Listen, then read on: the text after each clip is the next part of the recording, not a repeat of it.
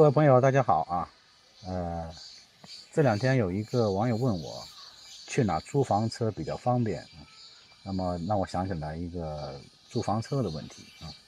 那么很多人租房车呢，是想体验一下，看看自己到底适不适合房车生活，然后再决定是否入手啊。那么这个这个值得值得推荐的啊。但是你在租房车的时候呢，一定要有。以下的说的，我说的几个注意事项啊。首先，你租的房车到底是什么样子的？是不是一个真的在现实生活中比较实用的房车？为什么这么说呢？如果说你租的房车是那种商家专门为这个房车租赁市场打造的房车，那么这种房车你还不如不租啊。为什么啊？我给大家举个例子啊。我刚上这里避暑的时候啊，就看见了一辆车。那么那个车呢，来了六个人啊，车上有六个成年人啊，还不是孩子。那么这六个人呢，到了景区以后呢，他也不做饭啊，他也没有各种各种那种我们说的那些家伙事儿啊，你比如说灶啊，比如说这个呃一些桌椅啊都没有啊，纯粹就是为了睡觉啊。因为大家知道这个地方到了夏天啊，它的这个客房比较紧张，而且呢，价格比较贵啊，可能他们是租房车来，是不是这样更更划算一点哈？呃，然后他们也也不在车上洗澡啊，更谈不上什么给房车加水啊，这些都没有啊。所以说这种房车对你想体验房车生活是毫无意义的，因为你体验不到房车生活啊。那么这种所谓的。租赁市场的这种房车设计呢，有个最大的特点就是床位多，啊，一辆车上给你坐六个床，啊，一般的布局都是左边两个高上下铺，啊，然后右边两个上下铺，然后前面额头上一张大床，啊，这样的话就可以睡六个人。哈 哈那么其实这种 这种布局的设计啊，根本就不是咱们真实的这个房车车友的生活的场景。真实的房车车友生活绝对不会是这个样子的啊，而且绝大部分的情况下，他不会那么多人出来啊，一般来讲就两个人啊，而且很多是独行侠啊，像我这样的啊，因为有时候老婆不方便嘛，不方便出来，没时间出来，所以说，呃，像这种大队伍一起出行的啊，很很少见啊，所以说真正的房车生活，你未来的房车生活，并不是说你要带一大堆人去啊。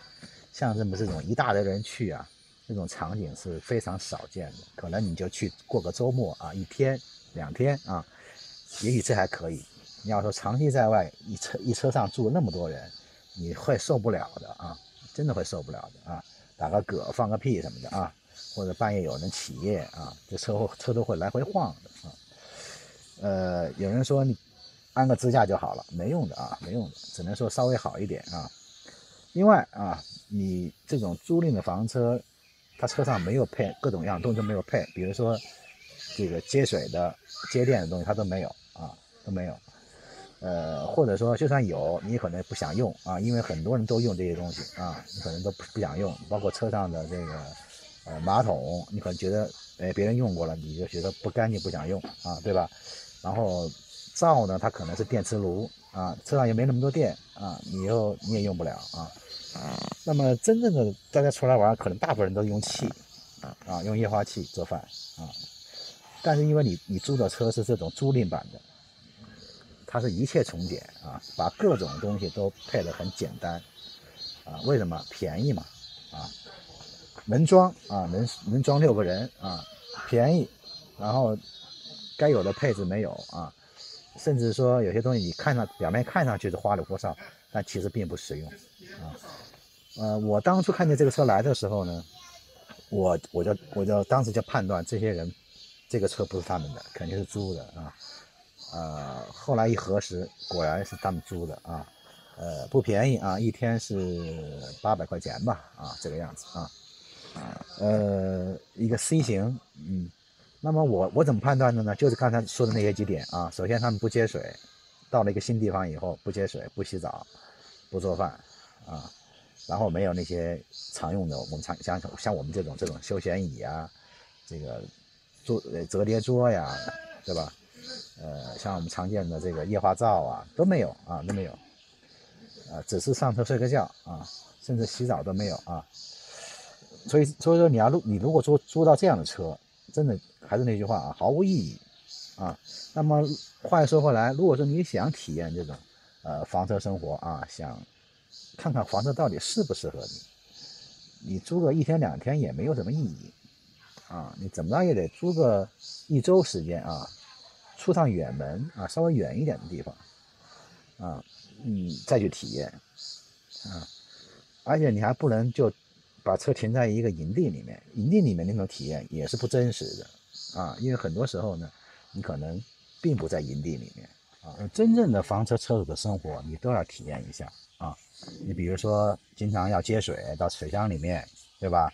呃，你要做饭啊，不管你是怎么做啊，你是用液化气做还是用电来做啊，或者说你用卡式炉来做，你要体验一下啊。在车内做饭和在车外做饭又不一样啊。然后你最好再体验一下雨天什么感受啊？雨天啊，下雨天啊，因为一旦下雨，你可能就只能在车里车里待着了啊。这些这些细节上的东西啊，包括你呃每天这个生活起居的一些细节上的打理啊，包括这个垃圾的处理啊，这些东西你都得体验。